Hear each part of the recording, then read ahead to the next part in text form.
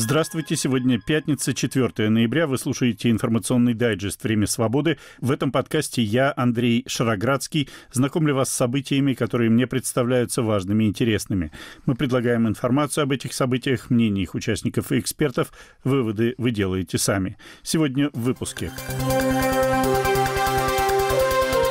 Когда украинские войска смогут начать наступление в Херсонской области?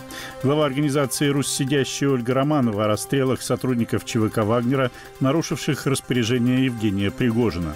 Совет безопасности ООН отверг требования России расследовать работу американских биолабораторий в Украине также сегодня. Таковой была идея отцов-основателей. Жизнь в Америке не должна была быть одинаковой от Калифорнии до Нью-Йорка, от Техаса до Миннесоты.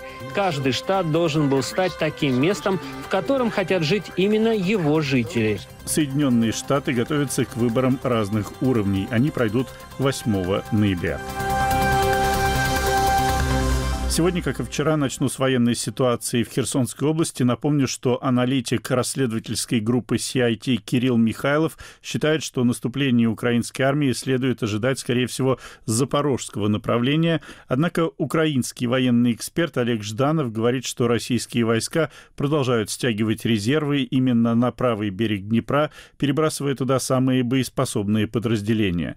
Вот что Олег Жданов рассказывает о том, как это происходит и как нынешние погодные условия условия влияют на ситуацию на фронте. Дождь, он, mm-hmm. может быть, только усложняет боевые действия для обоих сторон. Самое главное – это накопление резервов. Вот Россия сейчас э, затягивает на правый берег максимум усилий, максимум войск, максимум техники. Все, что могут, все переправляют. Мы тоже пытаемся, как говорит наш главнокомандующий генерал Залужный, мы пытаемся накопить резервы. Когда количество резервов будет соответствовать тем задачам, которые мы будем перед ними ставить, тогда, я думаю, будет предпринята попытка наступательных со стороны России или контрнаступательных со стороны ВСУ действий. Например, на запорожском направлении меняют регулярные части вооруженных сил России на части, которые укомплектованы мобилизованными. То есть там качество личного состава и качество боеспособности воинских частей, оно снижается но они готовы рисковать, потому что Херсон для них это, в принципе, это основа обороны всего западного участка оккупированных территорий. Если мы говорим по общевойсковым подразделениям, то на сегодняшний день там примерно мы удерживаем паритет один к одному. Где-то 40 тысяч их э, войск и примерно столько же войска имеется нашего. Правда, если взять во внимание российские средства массовой информации, точнее не массовые, социальные сети, то в социальных сетях россияне пишут э, цифру 80 тысяч якобы накопленных войск у Украины. Но если если бы у нас там было 80 тысяч, то мы бы, наверное, уже завтра перешли в контрнаступление. С одной стороны, укрепрайон может спасти в плане, если мы пойдем штурмом в лоб, как во Вторую мировую войну. Если мы же будем применять современные методики ведения боя, то может сложиться такая ситуация, что российские войска с минимальным э, количеством выстрелов, но сами покинут э, свои укрепрайоны. Почему? Потому что им нечем будет обороняться. Это было мнение украинского военного эксперта Олега Жданова.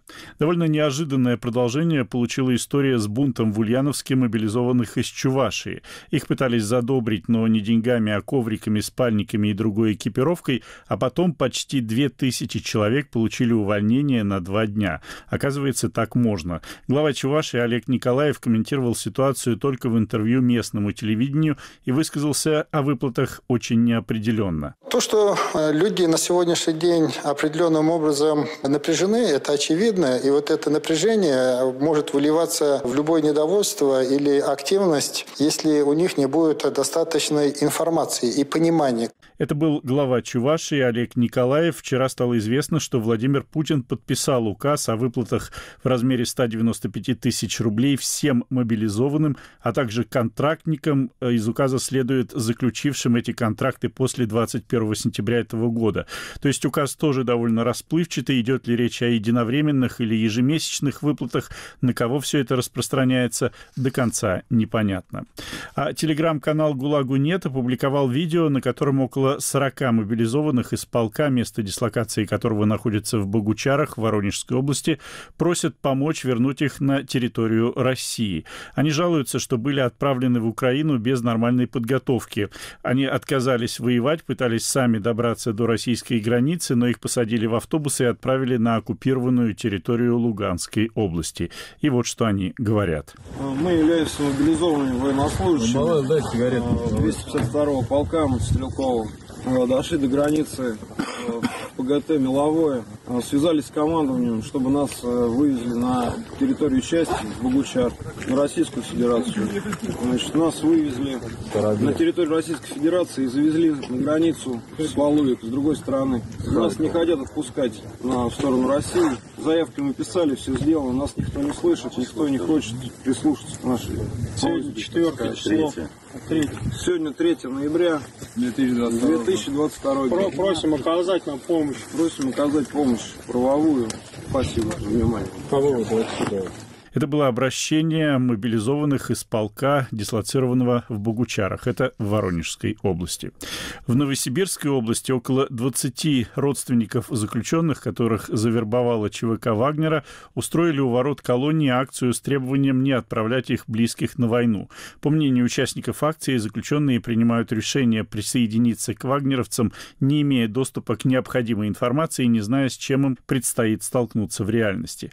Как подчеркивает глава рассказа рассказавшая об этой акции правозащитной организации «Русь сидящая» Ольга Романова, родственники все-таки добились своего. Люди боятся выходить и требовать соблюдения своих прав. Так вот, вчера была вот эта сходка родственников заключенных около колонии ИК-14 в Сибири, в Новосибирске, это Агучин. И вот 20 человек вышли без лозунгов, просто потребовали объяснить, что происходит, и потребовали оставить своих родственников сидеть. И вечером начальник зоны вышел к заключенным, и вот эти 20 человек, и они были выведены из карантина и возвращены обратно в зону. Вот они воевать не поедут. На самом деле ужасно злит, когда родственники кричат и пишут нам, что спасите, помогите, только мы ничего делать не будем, и вообще все анонимно. И мы очень боимся. На самом деле, очень мы мало знаем случаев, когда забирают кого-то принудительно. И когда даже кого-то принудительно забирают, и мы находим человека на фронте и говорим, вот у тебя бьется нравится жена или тут еще. Он говорит, не-не-не-не-не-не-не-не. Не-не-не, вот мне тут очень все нравится, я хочу стрелять. Как знаменитые кадры сейчас уже с батальона «Угра», чего мы хотим? Мы хотим крови, мы хотим смерти.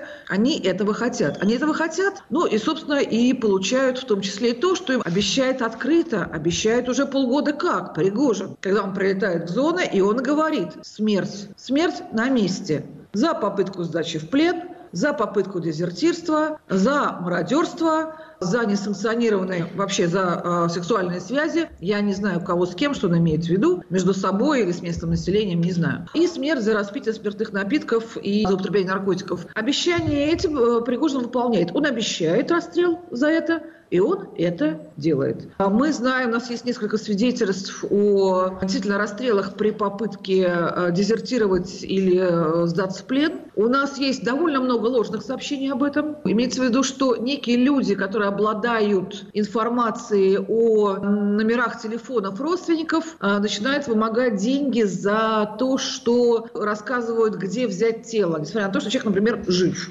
пока еще жив. И это, сами понимаете, что вымогать это могут только сами вагнеровцы. Поскольку, поскольку больше этих данных нигде нет. Люди часто указывают номера телефонов и довольно далеких от них людей. Или там друзей, или детей, которых они, может быть, никогда не видели. Или жен, которые живут там в других странах и, и так далее, и так далее. То есть это тоже есть. Но есть и рассказы о том, что действительно не выдают тела. В общем, очень сухо сообщают, что ваш муж, отец, сын дезертировал. У вас такой последний, например, гражданин Беларуси. И при этом, в общем, был э, расстрелян. Я не могу сказать, насколько эти данные абсолютно точные, и прямо человек прям пытался дезертировать, или прямо был расстрелян на месте и так далее, и так далее. Я думаю, что во многих случаях такие сообщения могут поступать ради того, чтобы не выплачивать 5 миллионов гробовых обещанных. Все-таки довольно большие деньги. Это порядка 80 тысяч евро. Мы, например, не знаем до сих пор, сколько из них сдались в плен. Поскольку, поскольку например, для вагнеровцев проще сказать, что человек человек пропал без вести или был расстрелян, чем он сдался в плен. Значит, они не досмотрели. И сколько на самом деле убежало или сдалось в плен, или на самом деле погибло, или было расстреляно, сказать сложно. Только могу сказать, что потери среди завербованных в конце июня, потери в этих отрядах в общем 99%. Я вот знаю об одном выжившем из первого призыва, его зовут Андрей Ястребов, он пока живой,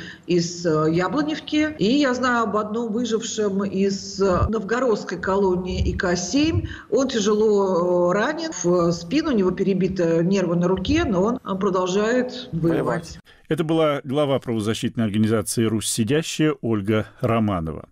В России заведено еще одно уголовное дело по статье об оправдании терроризма, на этот раз против оппозиционного активиста, участника движения «Солидарность» Михаила Кригера. Ему грозит до 7 лет заключения. Поводом для возбуждения дела, как пишет телеграм-канал «Автозак Лайф», стал пост в Фейсбуке, написанный в 2020 году. Кригер был задержан вчера днем в центре Москвы по свидетельствам очевидцев недалеко от станции метро метро Курская неизвестные люди в масках подбежали к нему, повалили на землю, а затем насильно посадили в машину и увезли. А вот фрагмент его выступления еще в 2011 году, когда стало известно, что Владимир Путин собирается баллотироваться на третий президентский срок. Сейчас уже трудно поверить, что эти слова произносились на Пушкинской площади в Москве на согласованном митинге. На страну мою надвигается мрак, надвигается средневековье. Что такое 12 лет Путина, которые нас, полагаю, ожидают. Это как минимум 12 лет беззакония, бесправия и коррупции. Это как минимум 12 лет еще существования такого явления, как политзаключенные. Это совершенное отсутствие правды в суде. Это, понимаете, это такая ситуация, когда вот судья, а место судьи так и будут занимать такие вот девочки на вроде Боровковой, которая смотрит на тебя стеклянными глазами из-под своей мантии, да? Она слушает объяснение какого-нибудь мента, который врет безбожно на прополую, путая все, путая факты, путая даты, время, все путает. Но тем не менее она считает, что в общем-то ему можно поверить, потому что он, видите ли, в форме или в форме только что был, понимаете? Человек говорит, Бог знает что, да? Ему адвокат говорит, как же так, вот в протоколе указано совсем не то место, которое говорите вы. Ну вы понимаете, так получилось, в общем-то. Короче говоря, все равно, все равно судьи занимают его сторону. Что еще такое эти 12 лет? Это опять мы будем платить по ханату на Кавказе. Это значит опять чеченский хан Кадыров, младший, будет на наши с вами деньги устраивать увеселения, будет убивать всех, кого хочет по всему миру, и будет на наши же с вами деньги приглашать каких-нибудь зарубежных звезд, чтобы устраивать себе всякие шоу, ну и для того, чтобы показать, какой он крутой пацан среди своих кавказских, значит, кунаков. На наши деньги. И мы все это будем поддерживать. Потому что как же? А иначе же не он нам чего устроит? Это как минимум 12 лет еще будет продолжаться. Это был фрагмент выступления российского оппозиционного активиста Михаила Кригера в 2011 году в Москве. Напомню, что против него возбуждено уголовное дело по статье об оправдании терроризма. Вы слушаете информационный дайджест «Время свободы». Сегодня пятница, 4 ноября. Темы выпуска представляю я, Андрей Шароградский. Миссия МАГАТЭ официально объявила, что не нашла на осмотренных ею украинских объектах следов попыток создания Украиной так называемой грязной ядерной бомбы, в чем министр обороны России Сергей Шойгу пытался в недавних телефонных разговорах убедить своих коллег из самых разных стран. А Совет Безопасности ООН отклонил требования России провести расследование деятельности американских биолабораторий в Украине. За принятие российской резолюции проголосовали только сама Россия и Китай. США Великобритания и Франция выступили против, еще 10 стран воздержались. Для принятия резолюции требовалось не менее 9 голосов «за».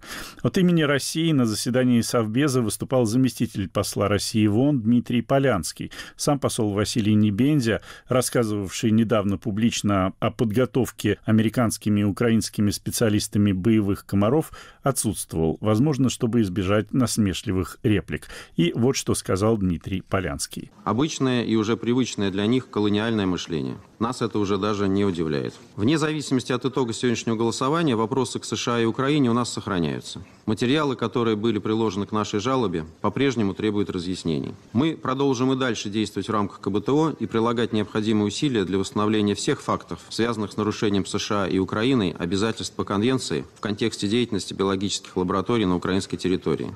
Это был посол России в ООН Дмитрий Полянский, постоянный представитель США при ООН Линда Томас Гринфилд так объяснила позицию Вашингтона по поводу обвинений со стороны России в попытках создания новых видов химического и бактериологического оружия в биолабораториях в Украине.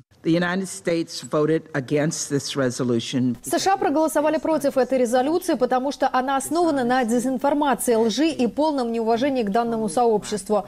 Конвенция о биологическом оружии важна, потому что она борется с серьезной угрозой, которую представляет биологическое оружие. Мы не можем позволить, чтобы такое жизненно важное сотрудничество было стигматизировано.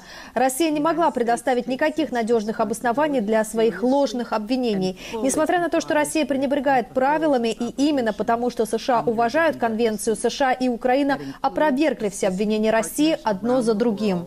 Говорила постоянный представитель США при ООН Линда Томас Гринфилд. В самих США полным ходом идет подготовка к выборам разных уровней. Они пройдут 8 ноября. Кандидаты будут бороться, в частности, за все 435 мест в Палате представителей и 35 из 100 мест в Сенате будут также избраны 36 из 50 губернаторов американских штатов.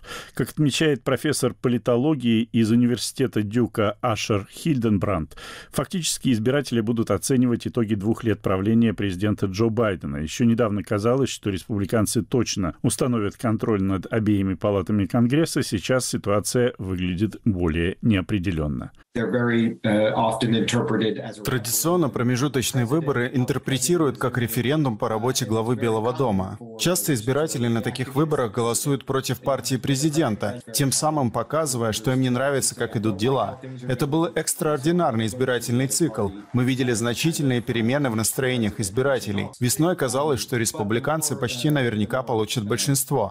Возможно, в обеих палатах. Выиграют множество губернаторских гонок и выборов в законодательные органы Штатов, потому что люди были недовольны экономикой и ростом цен. Но затем последовало решение Верховного суда по праву на аборты, слушание комиссии по 6 января, и мнения избирателей изменились.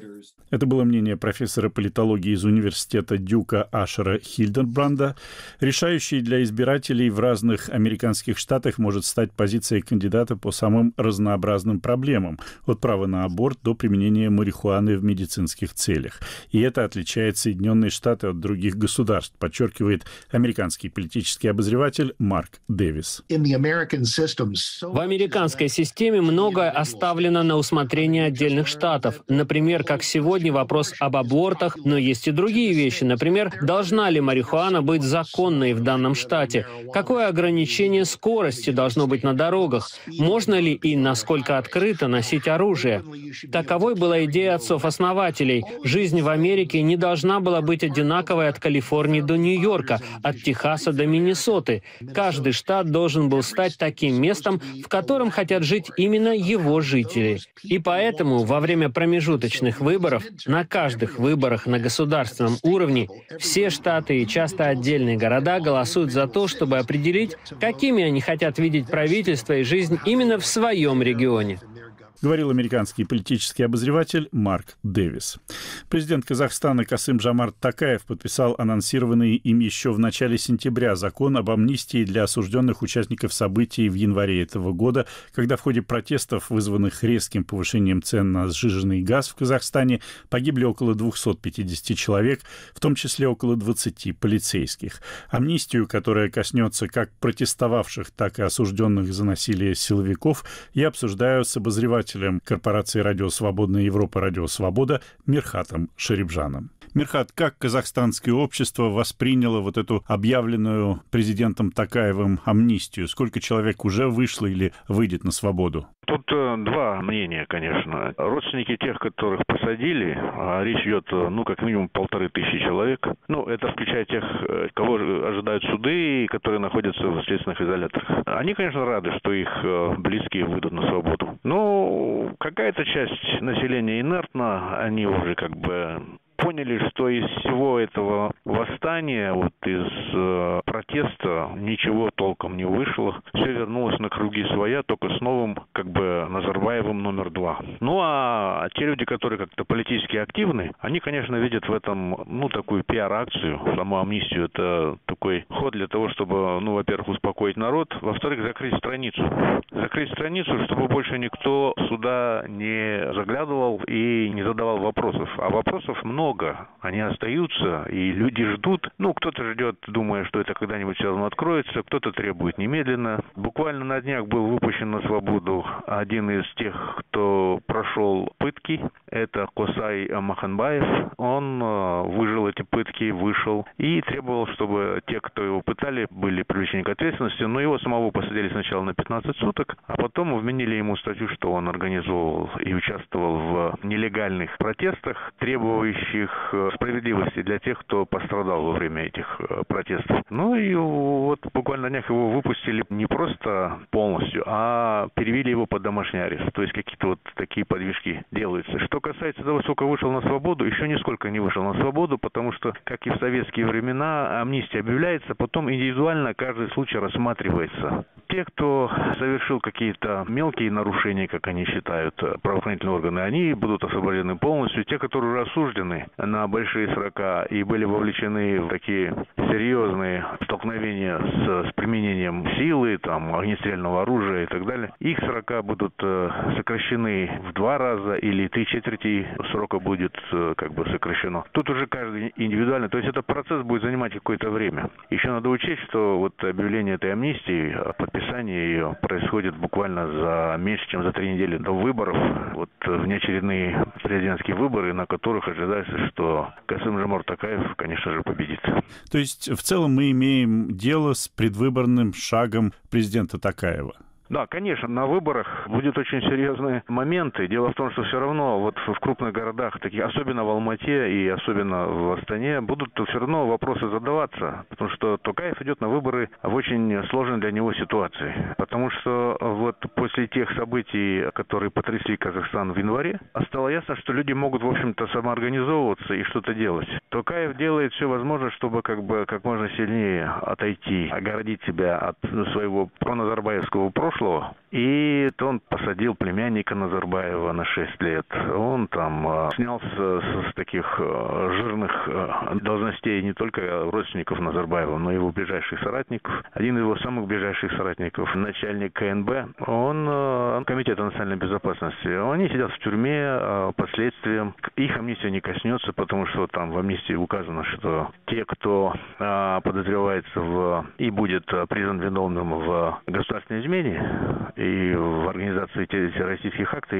они, значит, под амнистию не попадают. Кроме этого, у Токаева очень много проблем с ответом на вопрос, а, откуда взялись и куда делись 20 тысяч иностранных террористов, о которых он заявил, и заявив это, он как бы оправдал свое решение пригласить войска ОДКБ для того, чтобы он смог взять ситуацию под контроль, ну и справиться, теперь мы это уже понимаем, справиться в противостоянии с Назарбаевским кланом. То есть вопросов очень много, а вот, вот эта амнистия, она как бы всех успокаивает. Посмотрите, это очень удивительно, что, например, в июне месяце заместитель генерального прокурора Асет Шандалиев, он официально признал публично, что как минимум шесть человек были замучены и запытаны до смерти в застенках. Это очень э, показательно, потому что уже скрывать э, некуда. Ведь очень много было э, сообщений о том, и не просто сообщений, а прямо с фотографиями этих людей, которых просто пытали горячими утюгами. Это, в общем-то, признается правительством. И чтобы как-то снять вот это напряжение,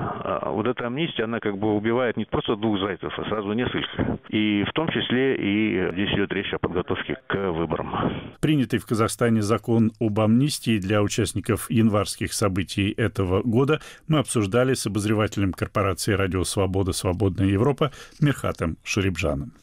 В России сегодня отмечается День народного единства, праздник, об истоках которого, несмотря на уже 17 лет его существования, у большинства россиян сохраняется довольно смутное представление. Владимир Путин возложил сегодня цветы к памятнику Минину и Пожарскому на зачищенной от народа Красной площади, пообщался с активистами Народного фронта, назвал Мариуполь древним русским городом и сказал, среди прочего, вот такую фразу.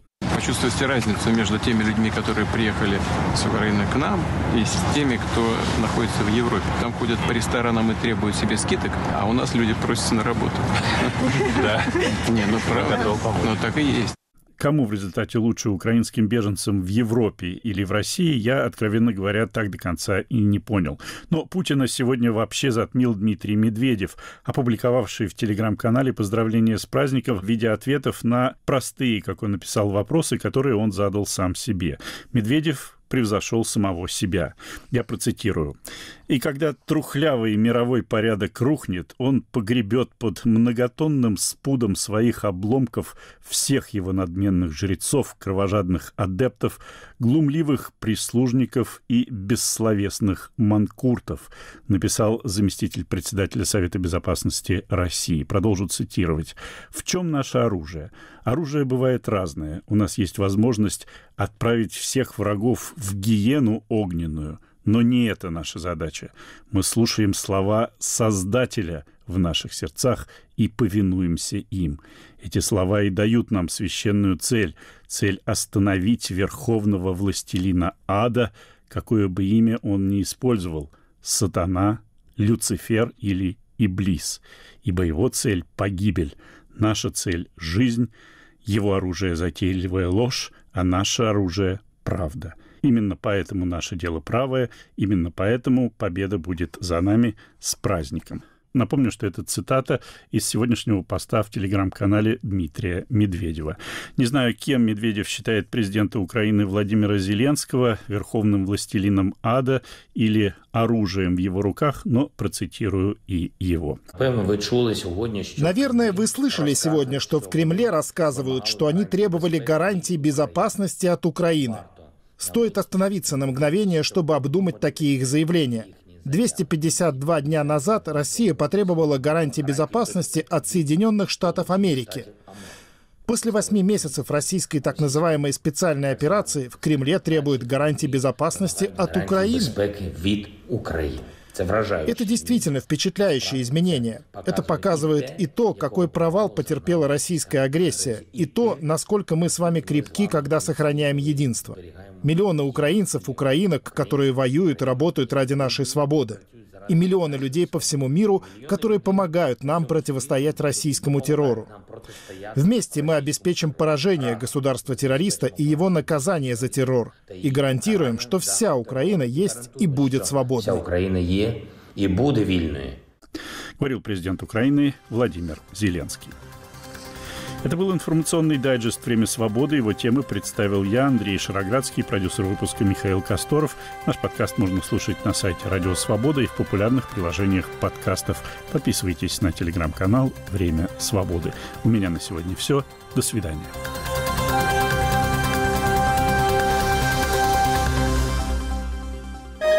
Студия подкастов «Радио Свобода».